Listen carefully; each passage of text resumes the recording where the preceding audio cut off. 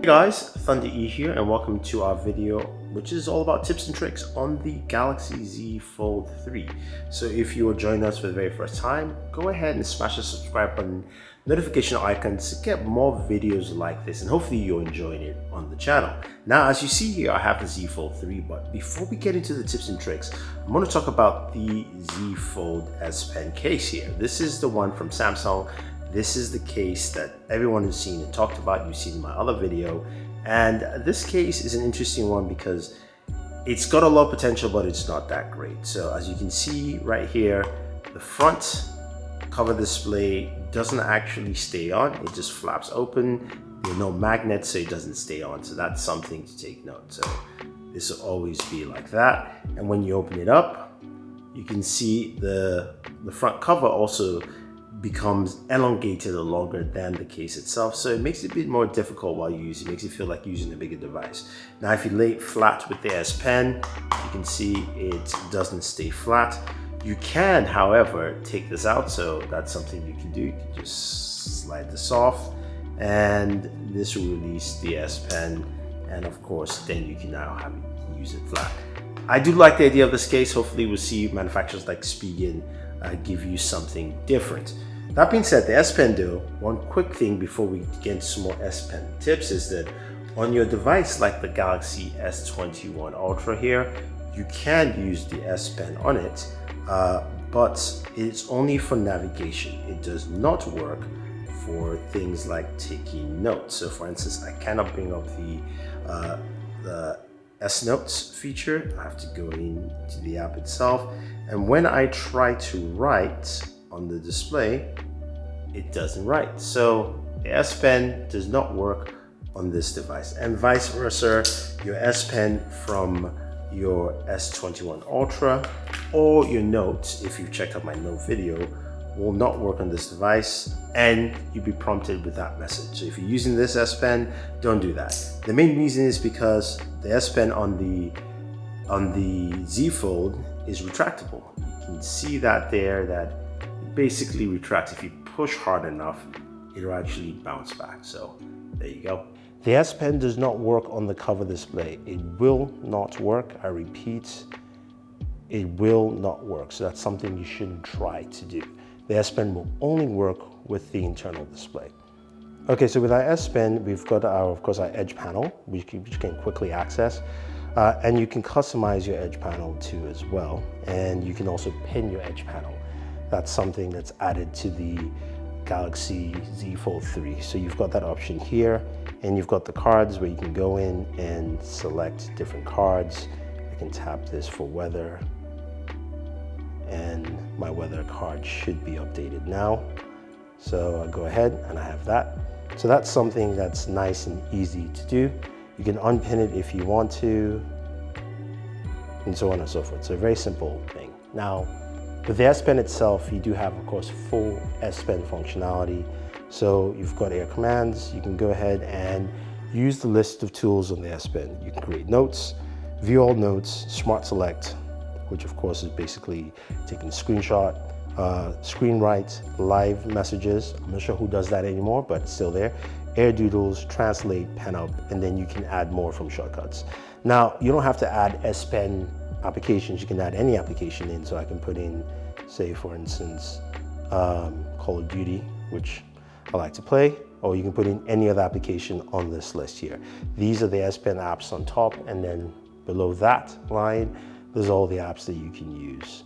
And boom, so you have that built in, and then you can see I have Call of Duty right there. So all that functionality is built in, and it's pretty simple and easy to use. I can go ahead and just take a screenshot of that and I can edit that, I can do whatever I want to, so on and so forth. So you get the general idea. So with the S Pen, you can customize uh, more of the S Pen features within the advanced features. So you can go into um, S Pen and then you can turn off screen off memo, uh, quick, create quick, quick shortcuts, air view, show pointer hover, commands, so on and so forth, sounds, and then of course there's some tips using your S Pen here. It doesn't have the full Bluetooth functionality of the S Pen, but again, this is something that you can do quite effectively. Uh, some of the some of the major features of the S Pen on this device. Okay, so let's go into our settings and jump into display. Now here, of course, you can change your refresh rate from adaptive to standard. So moving from 120 to 60 Hertz if you choose to. Then you have a couple other functionalities like full screen apps. This will help push a lot of your apps to use the full display size 7.6 inches for the internal display. Certain apps just won't work, so can't change settings for this app. Instagram is one of those culprits. So for instance, if I go to Instagram, it's still going to kind of look like this in terms of where the app placement is. That's just the way it is. Uh, not all apps uh, behave like that, but you can force a lot of your apps to work on full screen, which is good. Again, that's just something that Instagram just won't do at this time. Then of course you've got your edge panel, which is right here, and you can customize your edge panel. We saw that earlier, where you can go into the panels, you can select the panels you want, and you can add more panels or tools or tasks to them. So depending on what you're looking for, you can add more things to your edge panel. And then you can also customize it with the handles. And then finally, continue apps on cover screen. So this allows you to continue apps from the internal display and say maybe close, maybe you want to close it up and then use the cover display. Call of Duty does not support this, but games like Contra, um, Genshin Impact, as well as also PUBG will support it. Uh, and uh, some of your apps will. So you can actually force all these applications to do that. I have TikTok here, so if I say go into TikTok, and then you can continue from here into the eternal display. So it tends to refresh every time you switch over with uh, something like TikTok, but not every application is like that. So I can try go on with Twitter here. And if we head to, say we have Chad on this screen, let's see if it stays on Chad. It does. So it depends on the application, but you can, see you can switch from internal to the cover display. Now if we scroll a little bit lower to advanced features, this is where you have some of the advanced features like the S Pen using on this device. So you can continue apps on other devices, which allows you to move apps or app functionality from one Samsung device to another, uh, compatible devices. Link to window is pretty simple. Uh, you want to link it to Windows itself. So that will actually link with your desktop or your uh, laptop PC. And then you've got DeX, which is actually built in here. You've got DeX uh, to TV or monitor. So if you have like a wireless monitor or your TV or to your PC itself, you can do that and you just select the functionality uh, right there. Android Auto, you've got Quick Share, and then Labs is a land for multi-window for all apps. So you can actually use your apps in multi-windows and also customize aspect ratios if you choose to. So you can select the applications there. And then you've got Flex Mode uh, panel where when the, phone, when the phone is folded upright and the apps you're using will appear in the top of the screen on the panel. So you can select apps that will do that. Uh, you can have it kind of float around. So, and you can also do things like go ahead and make it translucent if you want to. So I can see, you can see the verge underneath there while Call of Duty still on there. And then of course you can make it brighter. So you can do that. And that this brings us to, of course, using multiple applications at once.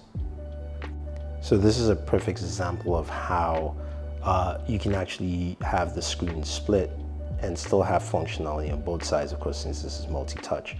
But uh, this does a better job at that multi-display that we saw the likes of LG do with their dual display panels. This just looks much cleaner, much better, and definitely has a, a better feel or fit to it. So very nice experience where you can have your gaming experience on one side, which almost is like a standard smartphone, but you can also increase that if you want to. So you can go ahead and kind of move, move this up if you choose.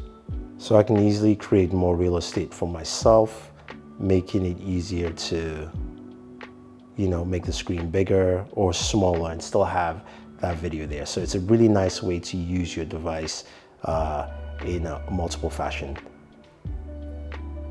And have it in the halfway point where the crease is, so when you fold it, you have this kind of layout, which is pretty cool. Again, it's exactly where the crease is. So you can have your game on the bottom, you can have video on the top, and it looks very seamless altogether. And then we have some accessibility functions, uh, things you can do to give you more uh, dexterity or use, like your talkback uh, functions. You've got visibility enhancements, hearings, interactions, advanced settings to use more uh, to add more customization to some of your keys, like your volume keys. You can add things like live transcribe, uh, magnify, talkback to either volume up or down. And then you've got flash notifications. So, uh, so if you want to get one your notifications to show, you can actually have your camera flash and we can preview, you can see it's, I don't know if you can see that, it's, it's flashing right there. And then